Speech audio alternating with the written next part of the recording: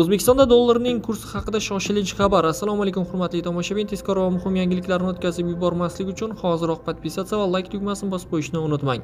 Markaziy bank 20 oktyabrdan xorijiy valyutalarning o'zbek so'miga nisbatan yangi qiymatini belgiladi. Unga ko'ra dollarning rasmiy kursi 1 so'm 67 tiyinga ko'tarilib 10702 so'm 31 tiyinni tashkil qildi. Yevro kursi ham 90 so'm 77 tiyinga ko'tarilib 12486 so'm 39 tiyin bo'ldi deyiladi xabarda.